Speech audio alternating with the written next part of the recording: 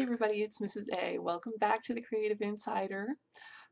As you can probably tell, it is winter and I have been busy making a huge mess, but it's starting to come together. It's starting to look pretty cute. I am happy to have you back. Thanks for joining me. I hope you've been um, perusing the blog and taking a look at what we've got and enjoying yourself this holiday in spite of Christmas cards, Christmas shopping, and fruitcake.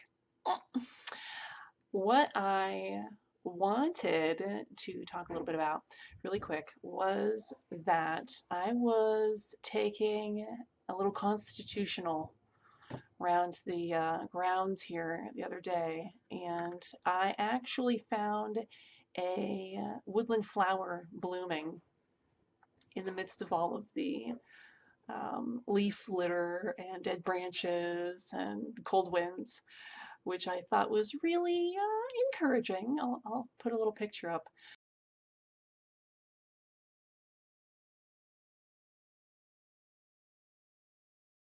Um, cute. I took a look at that and I thought, you know what, when it's time, bloom. And so that's what I just wanted to share with you. When it's time, bloom. Now, I wish I had said that to myself a lot in years past uh, regarding things that I had wanted to do but was afraid to do, that I was really excited about, that I held off on, that I second guessed myself. I got too caught up in my own thoughts.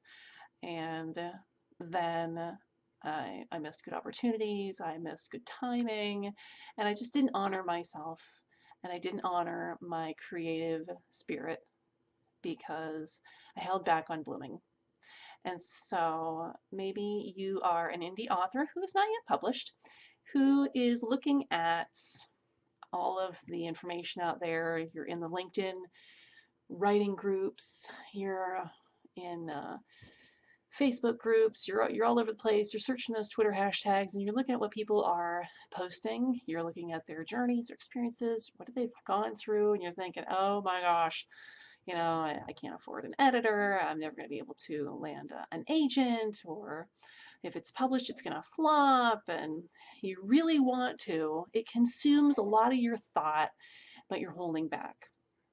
So my suggestion is when it's time, bloom. So if you've had this dream in your head all year and you've kind of talked yourself out of it and you said, well, I've got to do X, Y, Z, or we've got a, you know, car payment, or we need a new dishwasher, you know, whatever reasoning you put behind it, you have had something in your mind, in your heart that you're passionate about that you held off on or you pushed aside for someone else. And I'm not saying that those people didn't need you, and I'm not saying that wasn't a valid thing to do because sometimes that's just what we got to do.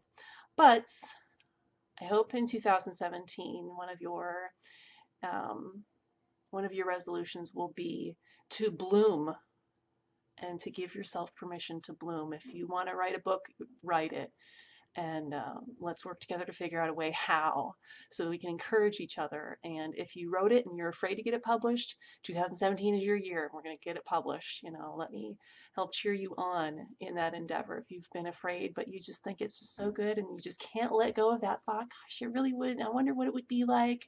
Maybe I could do you think maybe I yes yes yes. Let's do it. You know what are we waiting for? Life is so short. So I hope that you'll think about that as we draw near to the end of 2016. Ah, where did this time go? So when it's time, bloom.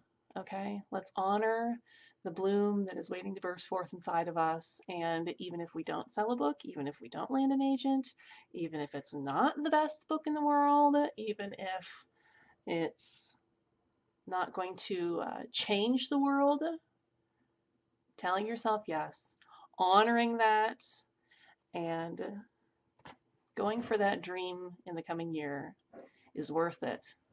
It's worth it. Don't be afraid if it flops, mind flop. um, put a video out there, put a newsletter out there, put a blog out there. You've been afraid, you wonder, mm, nobody would get it, no one would understand. There's a target audience for everything. There's billions, billions with a B of people on the planet, you know. Look at the things going on in the world today and the people who are uh, headlining events and making music and things. And you look at them and go, I could do that, so let's do it, you know. And if we're the only one, our friends and family that knows, then what more do you want, you know? You'll know. That's the important thing. So when it's time, bloom. It's time. It's time. So I'd love to hear what you're doing these days creatively. I um, am always looking for new things to tweet and share of all your awesomeness and your uh, projects. If you're thinking about a website, let me know. Would love to talk to you. Um, and I just love to talk to you people anyway because you're creative and you inspire me. And that's what I want to fill my 2017 with is inspiring creatives who are just taking charge and blooming all over the place with whatever, sculpting, painting, jewelry, music, anything. So that is my wish for you this holiday season here from the Creative Insider. The book is The Early Bird Cafe. The book is The Place Between Places with lots more on the way. Yay! So put a jingle in your step, have a holly, holly jolly. and I will talk to you again soon. This is Mrs. A.